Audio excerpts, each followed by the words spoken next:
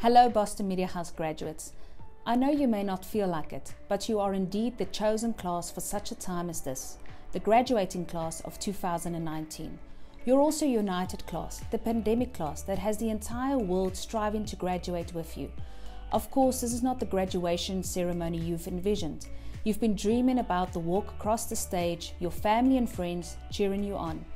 But even though there may not be the pomp because of our circumstances, Never has a graduating class been called to step into the future with more purpose, vision, passion, energy, and hope.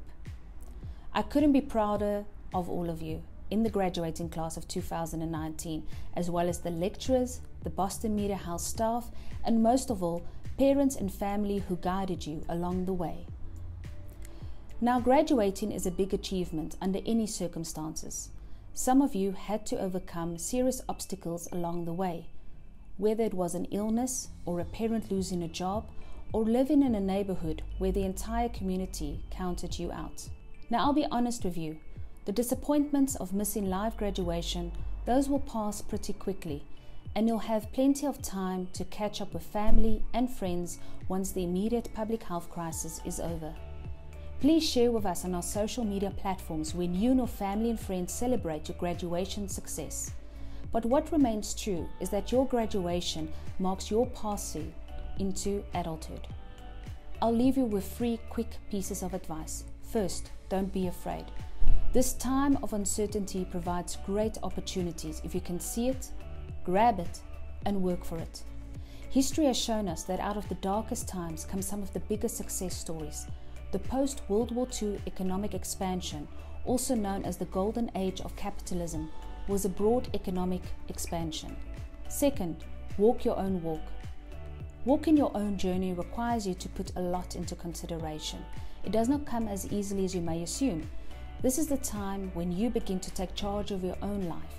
It is when you get to decide what's important to you, the kind of career you want to pursue who you want to build a family with, and the values you want to live by. It is a journey of becoming the best version of yourself, and you can only achieve this by living in your own skin. And finally, build a community. No one does big things by themselves. Right now, when people are scared, it's easy to be cynical and say, let me just look out for myself or my family or people who look or think or pray like me. But if we're going to get through these difficult times, if we're going to create a world where everybody has the opportunities to find a job, if we're going to save the environment and defeat future pandemics, then we're going to have to do it together. And I hope that you will harness your education, your creativity, your valor, your voice, and your vote, reflecting on all that you've witnessed, hungered for, all that you know to be true and use it to create more equity, more justice, and more joy in the world. To be the class that commenced a new way forward, the class of 2019. We are here, physically apart, but gathered together as an institution to mark the extraordinariness of this moment in history.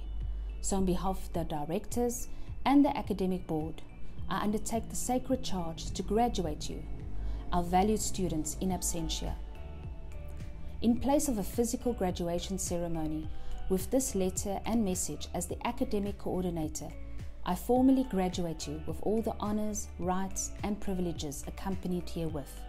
I do hereby release your degree, diploma, and transcripts. Congratulations.